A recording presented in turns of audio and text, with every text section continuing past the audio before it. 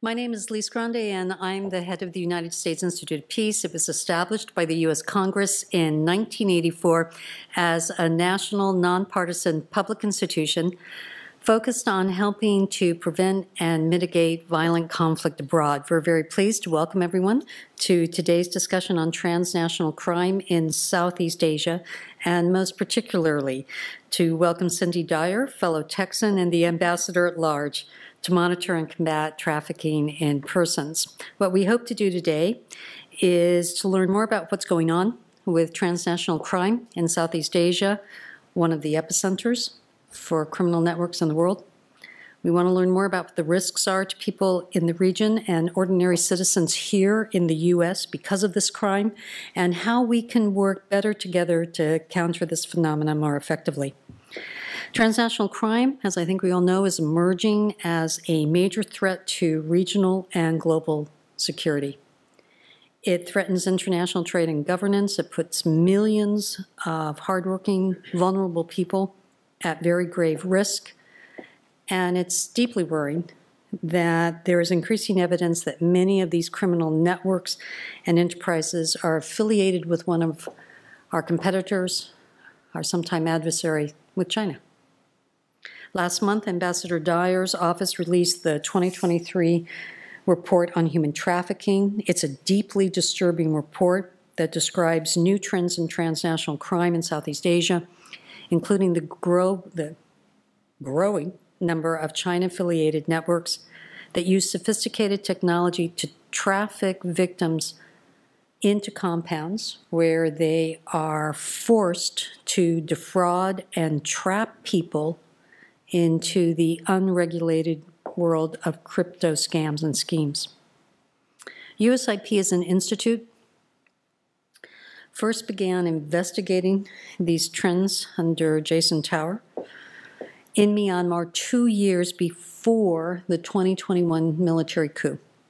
Since then, these networks have become entrenched in several Mekong countries, aided by the junta. No Asian country is unaffected by this crisis. And the tentacles of these criminal enterprises have reached as far as Nigeria, Brazil, and the US. This is an important topic, and we look forward to an interesting discussion with leading experts. Ambassador, may we invite you to the floor.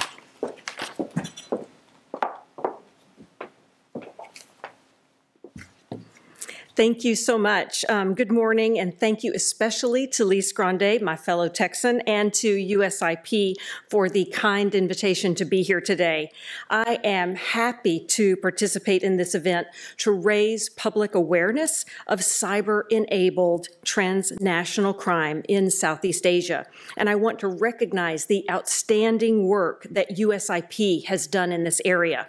Cyber enabled human trafficking in particular is an issue that has been a focus of my office and one that needs broader public awareness in countries around the world.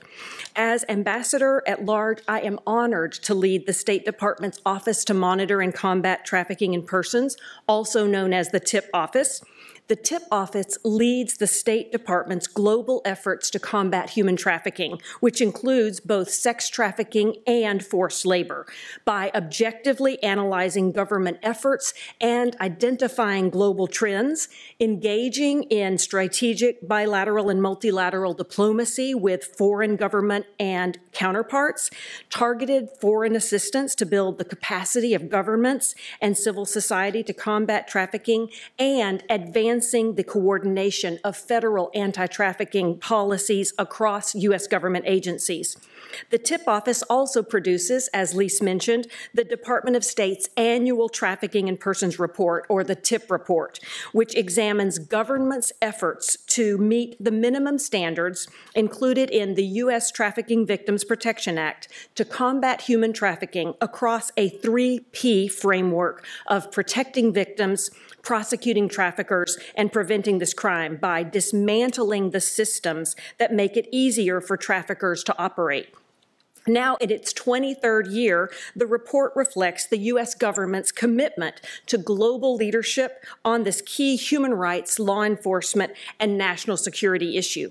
On June 15th, Secretary Blinken released the 2023 TIP report.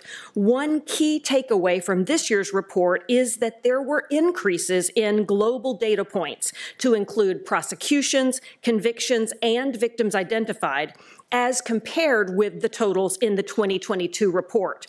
Globally, criminal prosecutions and convictions were higher in the years during and immediately after the pandemic, and victim identifications increased by nearly 25,000, although none were back to the pre pandemic levels. Globally, efforts to, to prosecute and convict labor traffickers and identify labor trafficking victims were also notably higher than prior years, which we attribute both to ongoing improvements in government efforts in this area as well as better government data collection and reporting. In the East Asian and Pacific region as a whole, there was an increase in the number of traffickers prosecuted, convictions of traffickers, and victims of trafficking identified. These data points documenting tangible government efforts at a time, at many times in partnership with NGOs, IOs, and other stakeholders are among the critical criteria used in TIP report country assessments. These increases are encouraging, but there remains much work to be done to address significant human trafficking problems in the region. There remain region wide issues with labor trafficking among domestic workers, forced labor in the agricultural and fishing sectors, and official complicity in trafficking cr crimes, among other concerns. In addition, and importantly, this year's report also focused on the rapidly growing and troubling trend of forced labor and forced criminality in cyber scam operations. While the tip office reported on the issue of forced labor in cyber scam operations previously, we saw a marked increase in this crime over the past year. It is most prevalent in, but not exclusive to, Southeast Asia. Traffickers have leveraged pandemic related economic hardships, global youth unemployment, and international travel restrictions to exploit thousands of adults and children in a multi billion dollar industry over the last two years, where these people, these victims, often respond to job offers for what they think is work in IT, casinos, or other seemingly legitimate businesses. However, once the individuals arrive at the job site, the scam operators force them to run internet scams directed at international targets and subject them to a wide range of abuses and violations, including withholding travel and identity documents, imposing arbitrary debt, restricting access to food, water, medicine, communications, and movement, and threatening and physically abusing them. The scam operations include quota based fraudulent sales, illegal online gambling and investment schemes, and romance scams, in which the victim is forced to enter into a fake online relationship with and extract money from unsuspecting targets. Traffickers force the victims to work up to 15 hours a day, and in some cases, resell victims to other scam operations or subject them to sex trafficking if they do not agree to fraudulently recruit additional members, or if the victims do not meet impossibly high revenue quotas. There are even reports of casino based cyber scam operators brutally murdering workers who try to escape. In this year's report introduction, we outline a typical experience of a trafficking survivor who was 20 years old when traffickers recruited him from Central Asia to work in information technology in Southeast Asia. Or after arriving there, traffickers took him to a different country along with other victims and forced him to work in an organized crime ring, scamming people on the internet.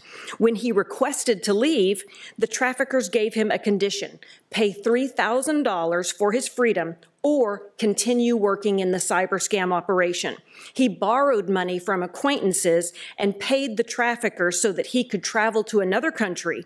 He ultimately contacted an international organization in his home country and it helped him to safely return home.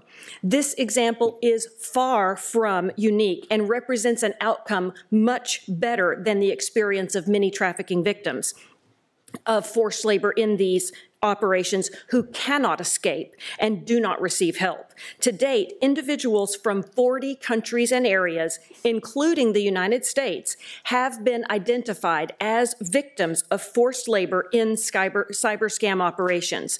These include nationals of countries all over the world, including North America, Africa, Central Asia, and Europe, as well as East and Southeast Asia. Cyber scam operations, many, as Lise said, run by locally operating PRC national organized crime syndicates, have been found in Burma, Cambodia, Laos, Malaysia, and the Philippines in Southeast Asia, and we continue to monitor for reports of new locations as operations spread. Unfortunately, trafficking survivors who escape with their lives are often met with administrative or criminal charges for immigration violations or forced criminality at home in the countries and in areas in which they were exploited or in the countries to which they fled rather than being identified as trafficking victims and having the opportunity to access and benefit from protection services. Some governments and authorities in the region have taken steps to assist victims and have begun to coordinate responses through the Bali process and ASEAN. Taiwan, for example, increased efforts to screen for victims in forced labor in cyber scam operations and provide immunity in cases of forced criminality. Laos cooperated with international authorities to recover Lao victims from the Golden Triangle Special Economic Zone in Bokeo, and Hong Kong created a web based application for victims and family members to report cases of cyber scam operations and receive information. However, governments and authorities around the world need to increase efforts to train their diplomats and representatives law enforcement officers, and border and ju judicial officials on how to detect and assist in these cases domestically and abroad to ensure victims are identified and provided access to robust protection services rather than penalized solely for unlawful acts committed as a direct result of being trafficked. Governments and authorities should also increase awareness among vulnerable communities and collect and share widely available information on known fraudulent recruitment channels. And governments should investigate and prosecute the traffickers exploiting these victims. No government or authorities can do can do this alone. Governments and authorities around the world must foster, cooperate with, and enhance their support to a free and healthy civil society rather than restricting space for NGOs and complicating their ability to benefit from international donor activity. For the part of the U.S. government, we will continue to urge governments and authorities to proactively identify and assist victims and protect people from fraudulent recruitment schemes like these. And we will continue to raise awareness of this issue.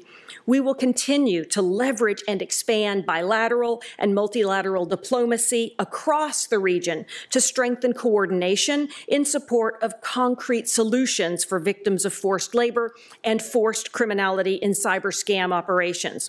We deeply appreciate the efforts of USIP and the other speakers in this event to make the public aware of this criminal activity affecting the peace and security of people all over the world. Thank you again for the opportunity to speak today, and I look forward to hearing and learning from the other experts gathered here.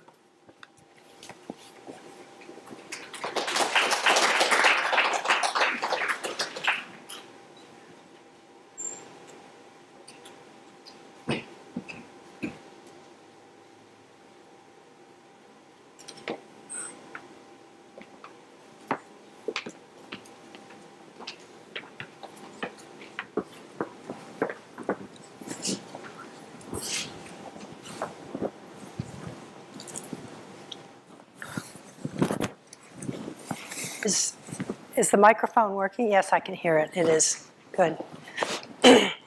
well, we're very privileged today to have with us some of the best experts from the Southeast Asia region in the development of the criminal networks in that area. um, let me just give you a, a brief, uh, a brief uh, bio on each of them. to wear my glasses. Um, Jacob, Jacob Sims in the middle is with the International Justice uh, Mission, and he's a senior technical advisor on forced criminality, spearheading IJM's global pursuit of accountability at the nexus of human trafficking and transnational organized crime. he was previously IJM's country director for Cambodia, mounting one of the earliest programmatic responses to the human trafficking epidemic emerging in scamming compounds in Cambodia. His analysis has been featured most recently in publications by UNODC, the UN Office of? Drugs and crime. Drugs and crime. drug traffic, drug trafficking. I deal with it all the time, and I don't know what it means. Uh, U.S. Department of State, The Economist, The Guardian, L.A. Times, Al Jazeera, Sydney Morning Herald, and many others. And then we have Dr. Alvin Camba at the end here. He's assistant professor at the Josef Korbel School of International Studies at the University of Denver, with a PhD in sociology from Johns Hopkins University. He is part of the Korbel School's Responsible Public Engagement Project, funded by the Carnegie Corporation of New York. Um, he is also a faculty affiliate at the Center for International Environment and Resource Policy and the Climate Policy Lab, that's a long name, at Tufts University Fletcher School. His research has been awarded high honors for several academic networks, published in top development and political e economy journals, and incorporated in several widely circulated think tank policy papers on China's activities in Southeast Asia. He is frequently quoted in articles by top news outlets. With a focus on maritime Southeast Asia, Dr. Camba explores themes such as inter-elite competition, institutional change, social conflicts, ecological ramifications, and growth strategies. Most recently, he has turned to Chinese illicit capital's relationship with transnational crime and the United Front's propaganda and disinformation strategies. And last but not least is our very own Jason Tower who's the head of the USIP uh, Myanmar program. He is our country director of, of the Burma program, with over 20 years of experience working on conflict and security issues in China and Southeast Asia.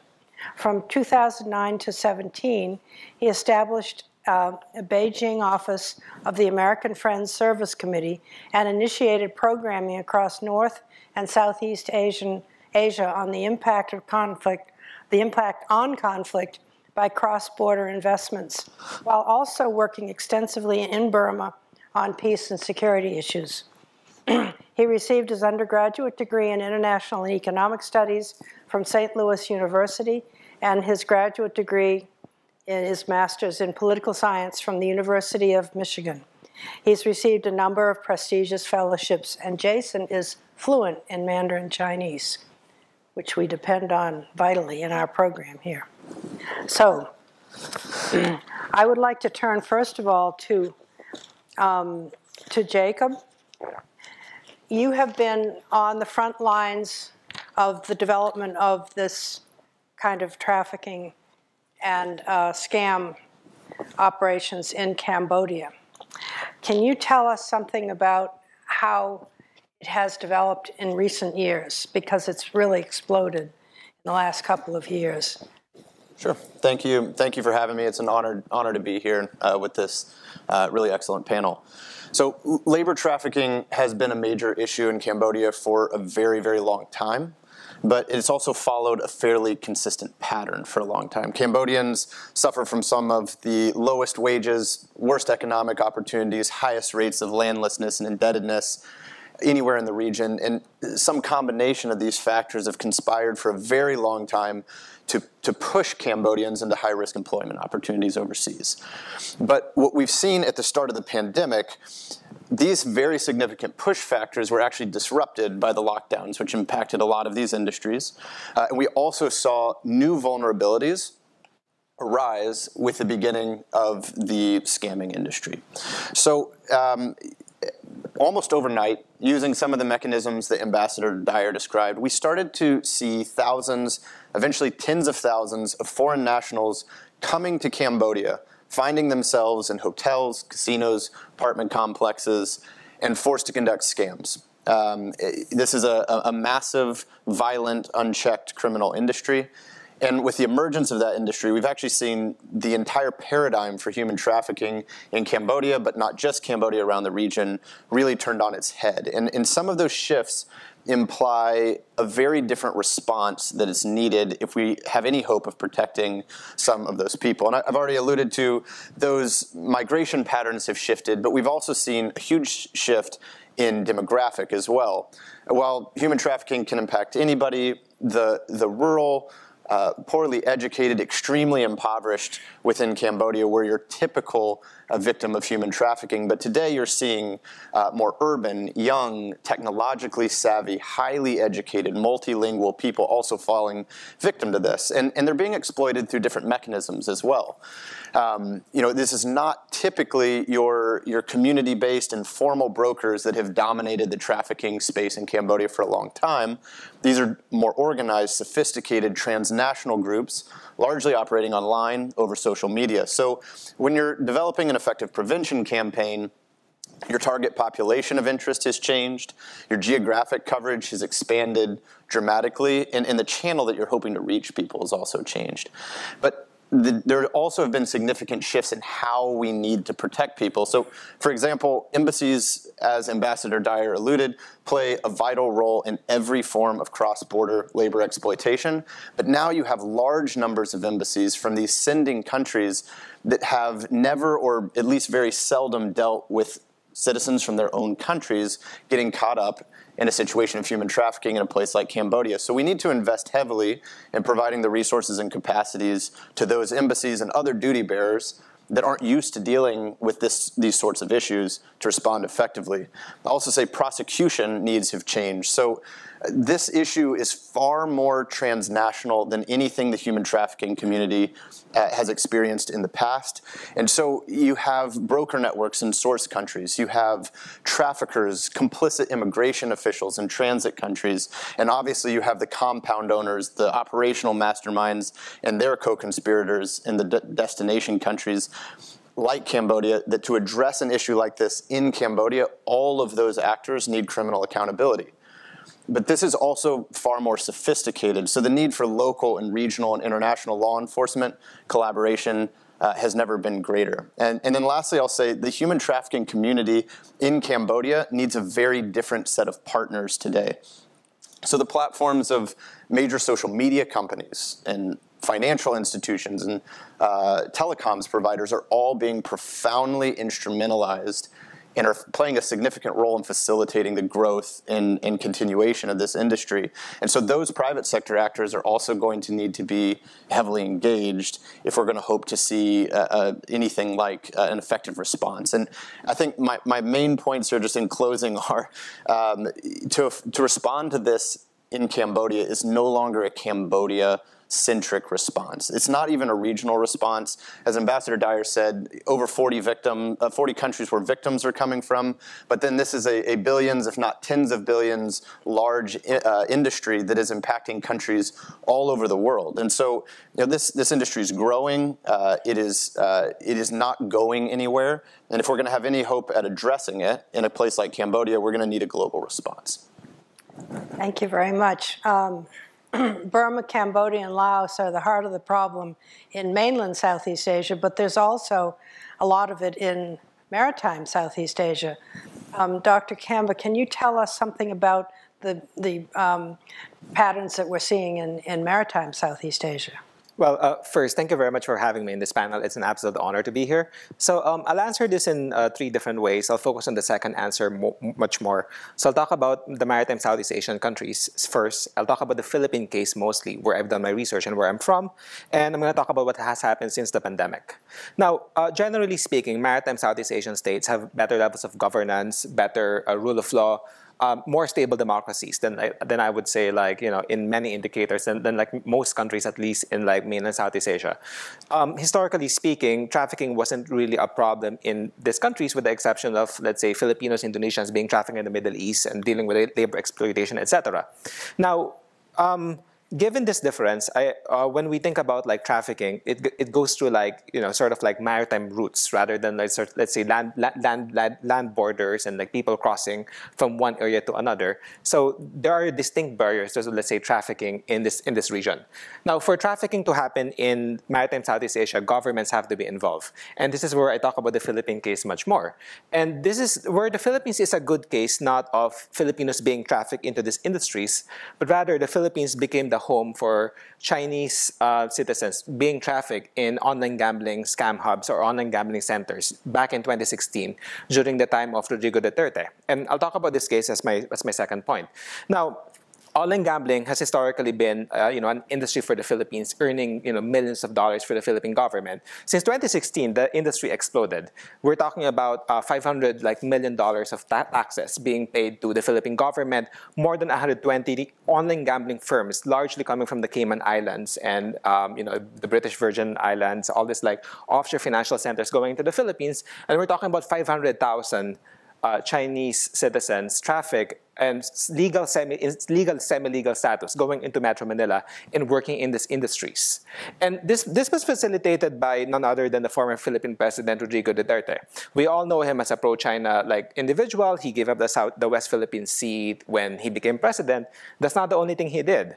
One of the things he did when he became president as early as 2016 in October was to centralize online gambling under the Philippine uh, Amusement Gaming Corporation, which is the Philippine agency in charge of gambling. And what he did was he he he took the Philippine police and he uh, strong armed the online gambling uh, online gambling firms in the special economic zones under uh, which was controlled by um, Macauan uh, gambling uh, gambling um, I don't know how to like name him gambling investor Jack Lam and he took the police. He basically like cut down that particular like uh, this group. And he and and so that, that's what he did with like one group of like online gambling firms. And the other online gambling firm which is controlled by um, this is a very philippine centric story by philippine uh, oligarch roberto ongpin he he did not renew the license of, of roberto ongpin's firms. And eventually he sort of controlled and centralized online gambling uh, under his administration, and and this this in turn helped um, his uh, sponsor by the name of Michael Yang. This is all in public documents. Um, the Philippine government is now looking for Michael Yang, so there's like um, there's a there's an issue there.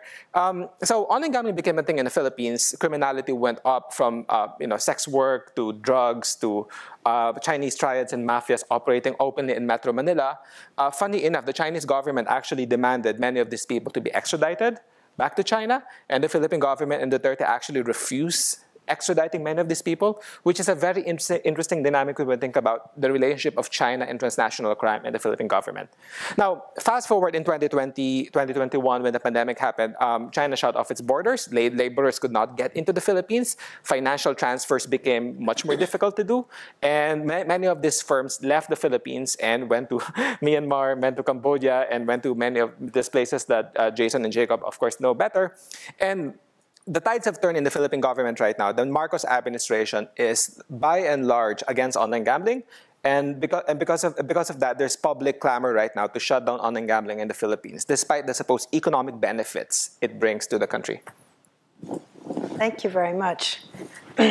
Jason, the heart of the problem right now seems to be in Burma, Myanmar, particularly since the coup of 2021. It has really mushroomed in the lawless environment that now exists in the country.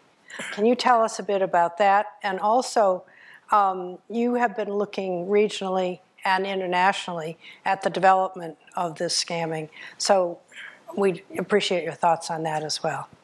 Thanks, thanks, Priscilla. Yes, I'd agree uh, largely with that characterization that Myanmar has become an epicenter of this form of criminality that I believe already um, the, the, earlier speakers and Ambassador Dyer have uh, laid out uh, uh, in terms of some of the very disturbing trends that we're seeing. Um, I wanted to highlight in terms of how we've gotten here uh, from Myanmar. Um, really two trends that we've seen that have been accelerated by the military coup.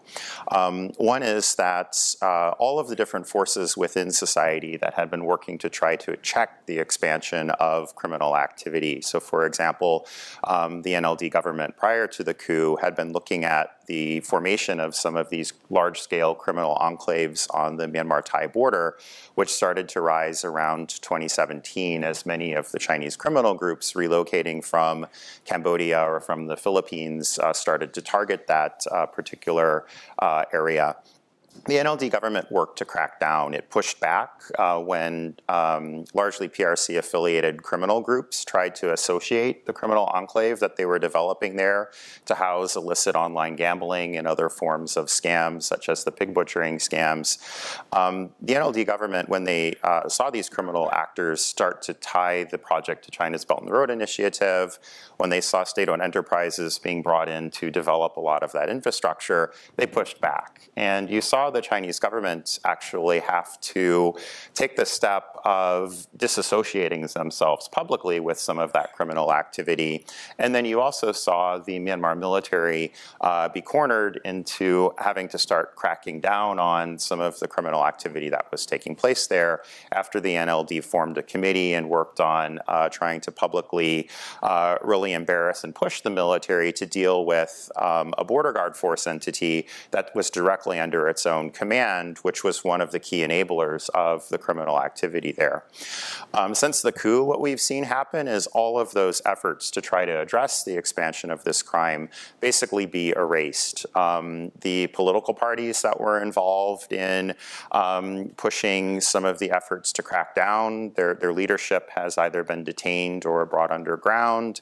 Um, you've seen um, the media space completely undermined in Burma with um, all of the free media that developed over the, the decade before the coup either being pushed out of the country, forced to go underground, or being replaced by pro military media, which of course is putting out very different messaging around uh, what is, is happening in country today. So uh, media access has more or less disappeared as a result of uh, the coup. Civil society has um, also been forced to either go underground, been detained, been undermined by um, the ongoing chaos that has ensued since the military coup as well.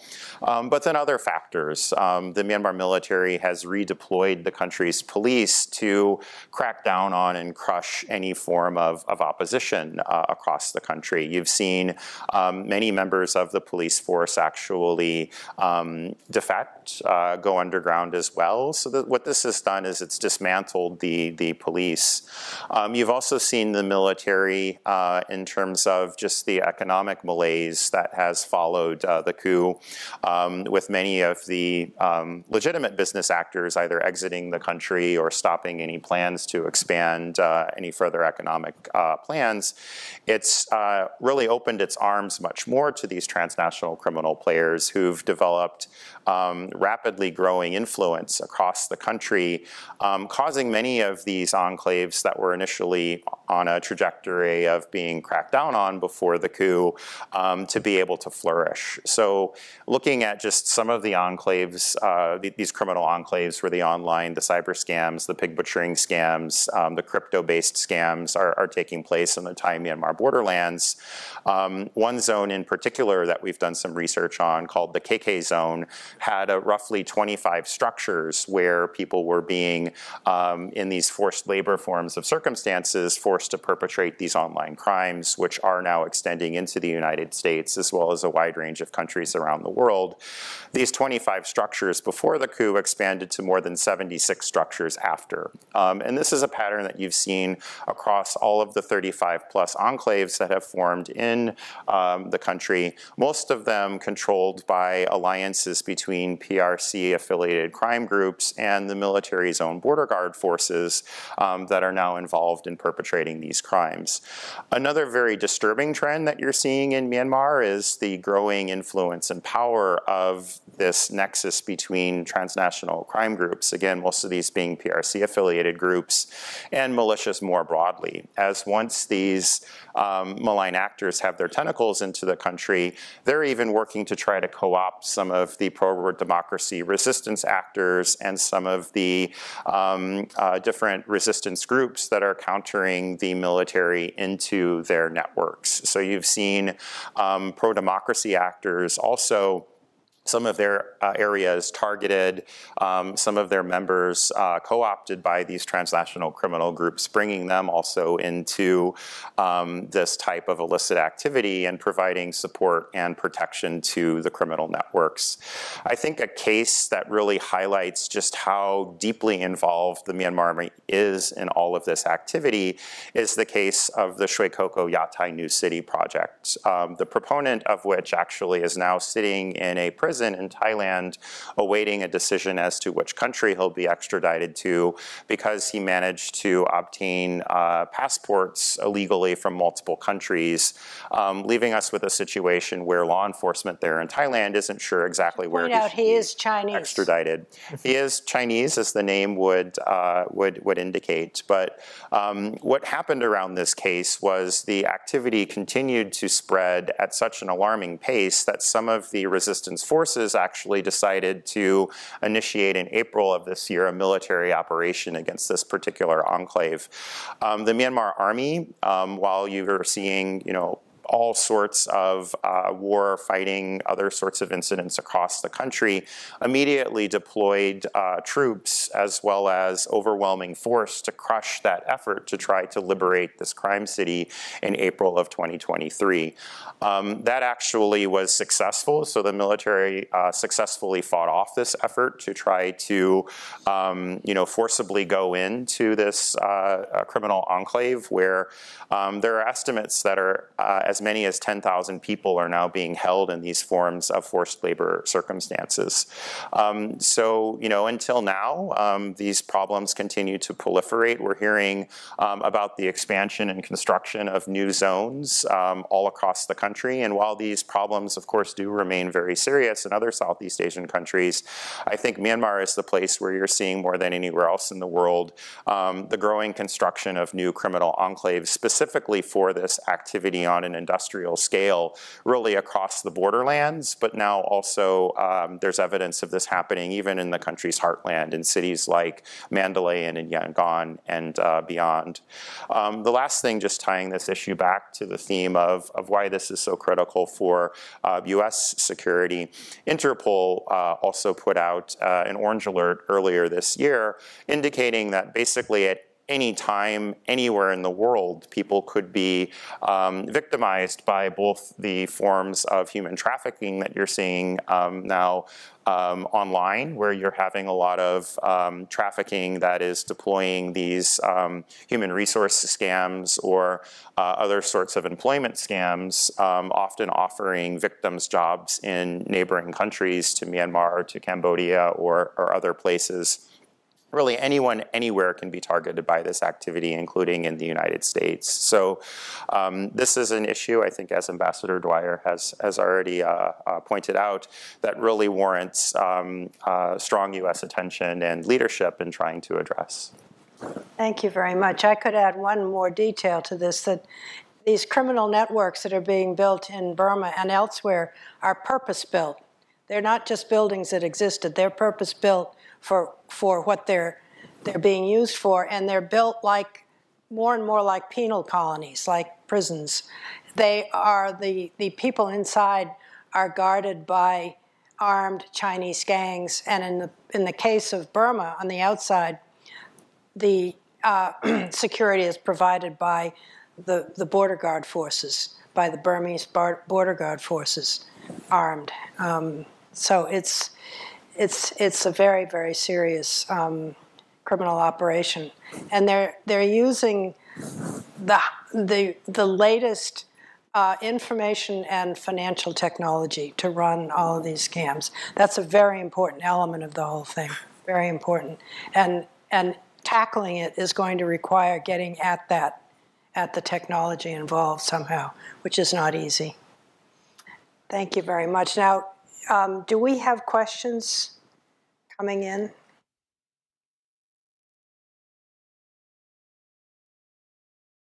I don't think it's work. Yeah. Can you hear me? Thank you. Um, so, what steps have been taken to mitigate and combat cyber enabled human trafficking, either domestically in each of the countries that you've discussed or in cooperation with regional neighbors such as Thailand? Um, and what impacts have they had, if any? Would you like to start us with that?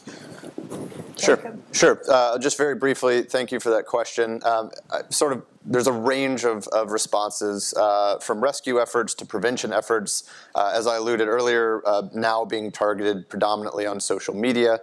Um, new new efforts to uh, reduce the, the level of law enforcement capacity gaps uh, that are that are largely addressing this, uh, and also uh, increasing numbers of international task forces with regional and international law enforcement, uh, bringing their capacity and their greater distance and independence to bear uh, um, on some of these issues. Um, I'd also like to point out um, that there have been significant efforts to do robust raids and uh, criminal prosecutions in both the Philippines and Indonesia. Philippines actually on the compounds themselves.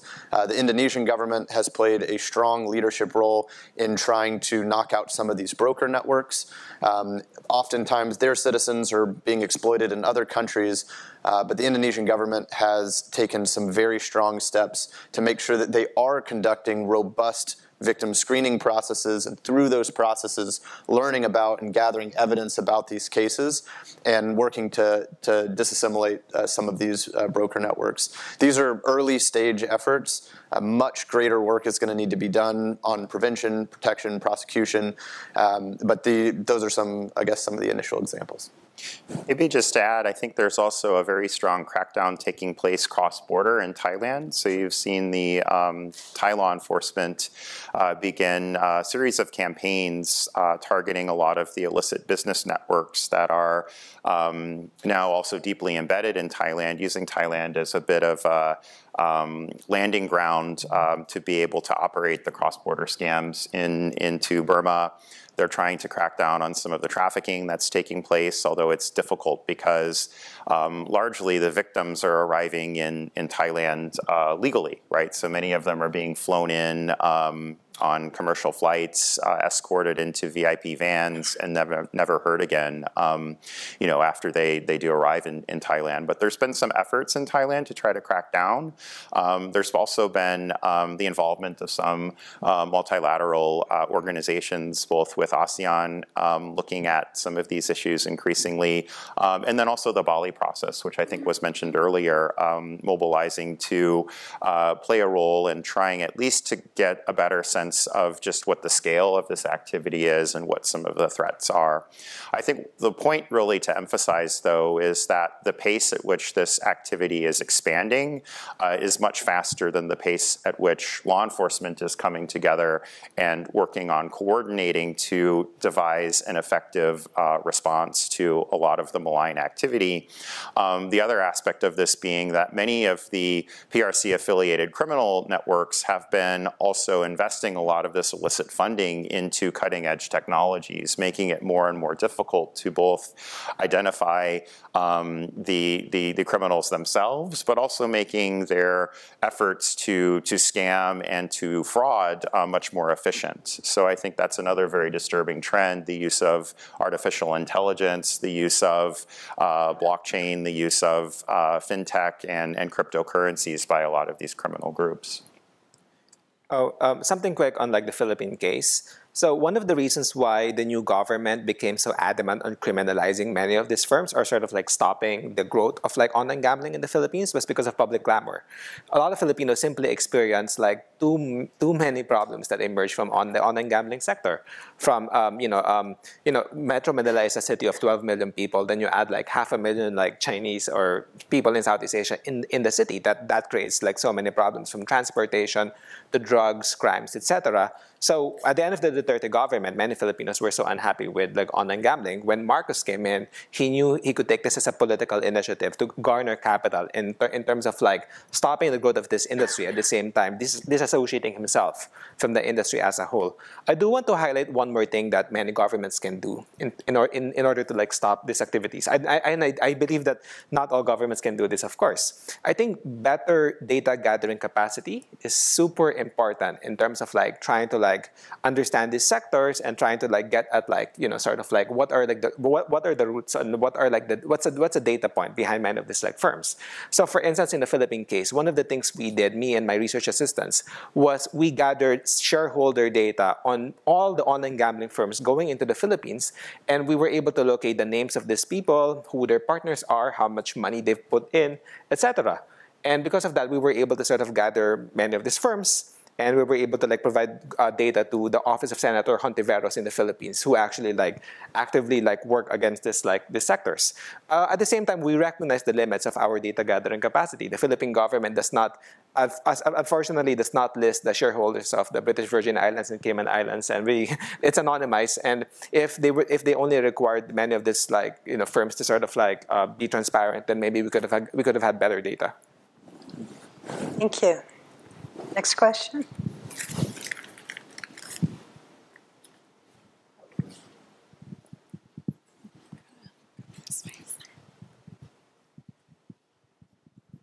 Hello, thank you. Uh, my name is Paul Lee. I'm a filmmaker. And uh, um, I've listened that you, highlighted many Chinese criminal syndicates and loosely Chinese government involvement. Um, I, I wonder, have you found any indication that the Chinese state security apparatus and its extensive network of agents and collaborators throughout all of Asia and the world are actually helping to coordinate, if not support, these criminal activities. And I postulate that if they are actually doing so, they do so for two reasons. One is to financial gains. Secondly, is to destabilize these emerging countries to stop its democratic advancement. So just want to get your perspective on that. Thank you. Let me start the response to that because this, these are the kinds of questions that have also come to mind with me. Um, the connection, let's say the official connection between China and these operations is not clear.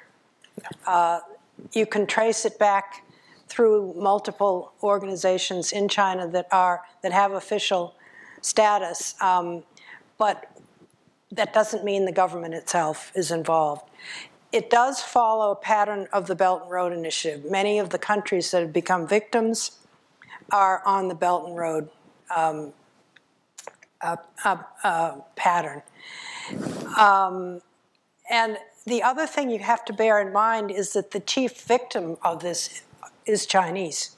Most of the people that are being scammed from the beginning and even today are Chinese, whether they're in China or overseas Chinese, because in Southeast Asia and, and even in most of the world, there's a large Chinese diaspora, and it preys on that diaspora as well. So it's all mixed in.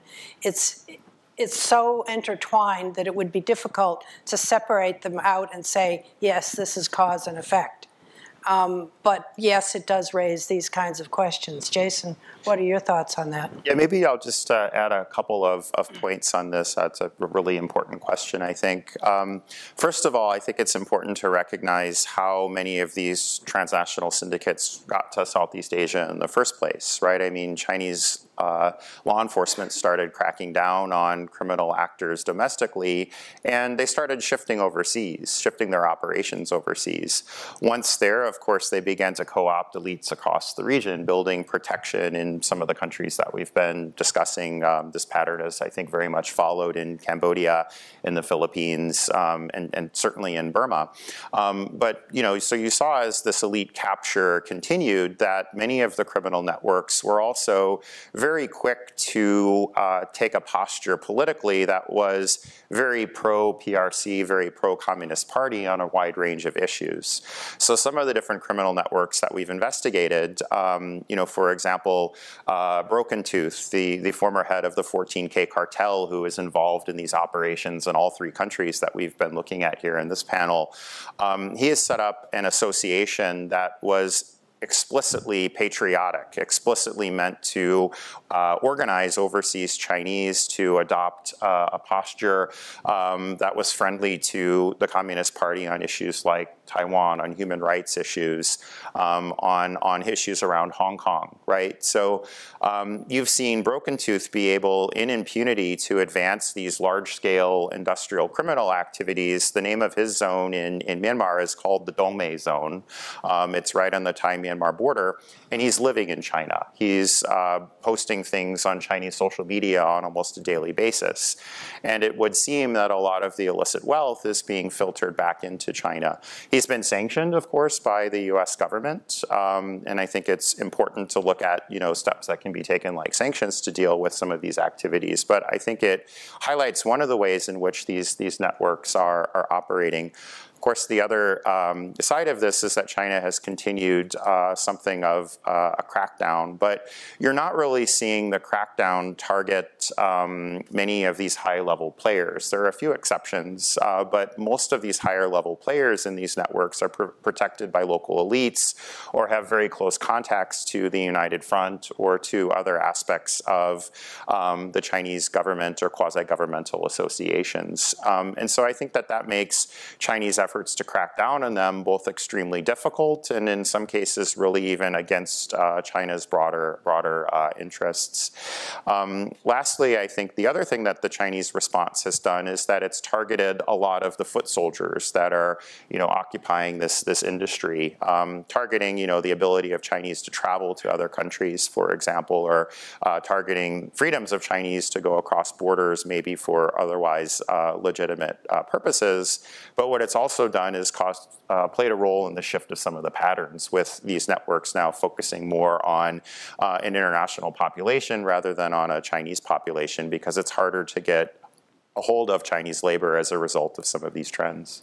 Yeah, I'll, I'll, just add, uh, not much to add on the direct uh, relationship, but certainly the impact that you're suggesting, a massive amount of revenue, and the destabilizing of governance and democracy in these countries is absolutely the, the end result of that. And regardless of where that's coming from, that's extremely concerning. These are, this is a proven model at this point. Yes, it's, it's a, a PRC originating dominant criminal industry, but in Cambodia, there's also significant evidence of uh, Thai criminal gangs, uh, Taiwanese based, um, Vietnamese based. And so they have a model that they're working from. It's proven to be highly lucrative, extremely straightforward to run and operate with high profit margins, even in extremely unstable contexts like Myanmar. And so when you do see uh, what is effective ceding of sovereignty across the region to opaque criminal groups, that's something for concern, uh, regardless of where those groups' uh, loyalties lie.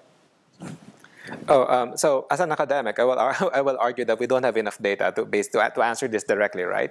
Uh, I will tell you, however, um, the data set we created on over two to 300 companies go, that went to the Philippines, you can actually find, um, I would say 60, 70% of them have Chinese investors in them, like PRC citizen investors. Even the ones in the Cayman Islands, you don't see the investors, but you see the managers, and you see the managers by and large are like Chinese citizens.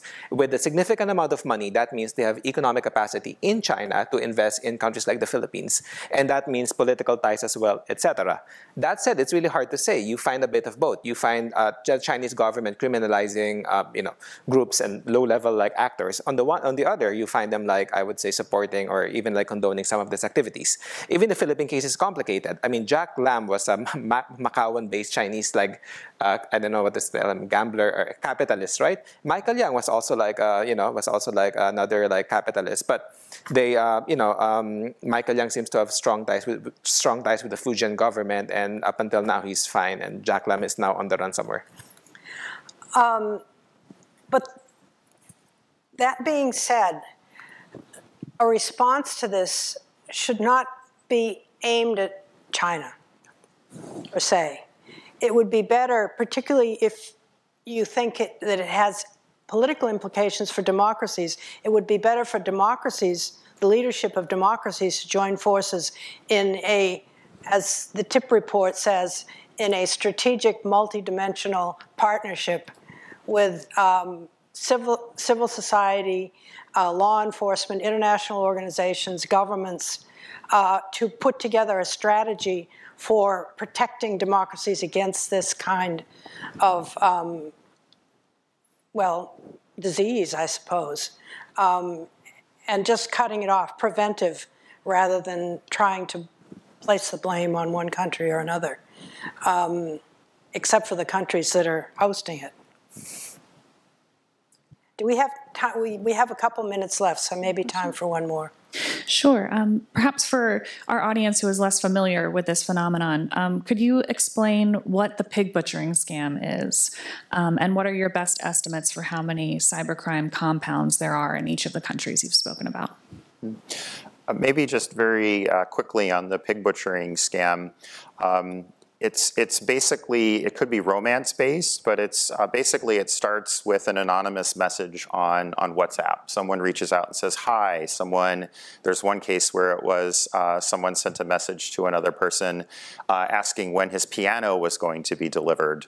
Usually, the persons receiving these messages have been targeted using some form of AI. Um, so they're looking for particular vulnerable populations. And what happens in these scams is that for maybe one or two months um, the, the perpetrator, who again, the perpetrator may also be a victim in many of these cases because they're in, being held in one of these forced labor compounds, but um, the perpetrator will send, you know, series of messages, building trust with the person, establishing a romantic relationship with the person. And once that trust is established, um, you'll see them introduce some type of investment opportunity, maybe even linked to some kind of a shared future that maybe the perpetrator aims to have with uh, the victim. And um, why it's called pig butchering is because you kind of are then at that point beginning to fatten up the, the victim. The victim puts money into that, sees an instant return, puts more money in, now has both maybe a very close trusting relationship with the perpetrator, and it continues up until the point where the perpetrator has detected that more or less this person is in for their net worth or for the maximum amount that they're able to defraud.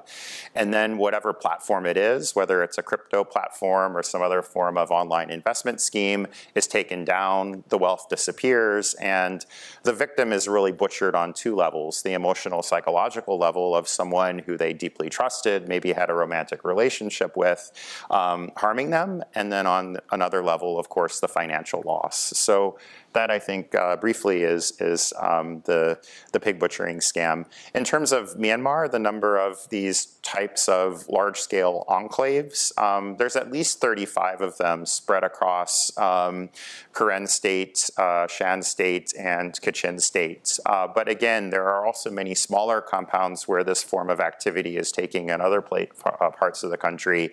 Um, so I think again, looking at um, the research that is necessary, right? This is something that's evolving on a, on a day-to-day basis with more and more, um, I think, uh, scam networks and syndicates moving into this industry from uh, a growing number of, of sources. So um, I think it's something that warrants very careful and close uh, monitoring and analysis, um, uh, in addition to, of course, a very strong response. Yeah, just very quickly in Cambodia, again, this is very difficult to assess, measure, estimate.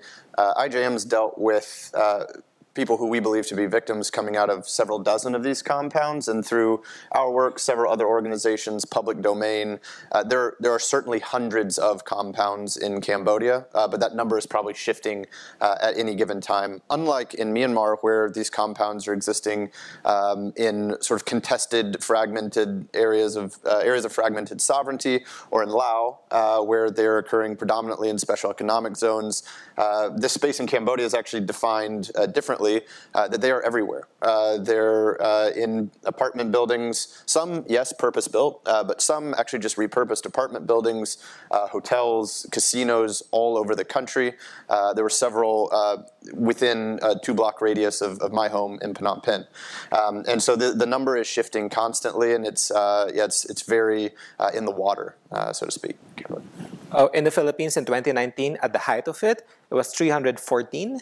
Uh, but that's an that's um, under uh, that's an under uh, under uh, underestimating the numbers because the way many of this, these firms work is they do have one big company and they host tens and dozens and hundreds of like micro gaming companies inside the company. So there's there's like a more complicated structure. Right now in 2022, since the Marcos government, um, it's now down to, down to 34. So officially, at least. So hard to say for real. Thank you. Well, I think we've reached our time limit now, and I'd like to thank all of the wonderful participants, Ambassador Dyer, Jason, um, Jacob, and, and Alvin. It's been very, very rewarding today to hear from you. Thank you very much. Thank you, Priscilla.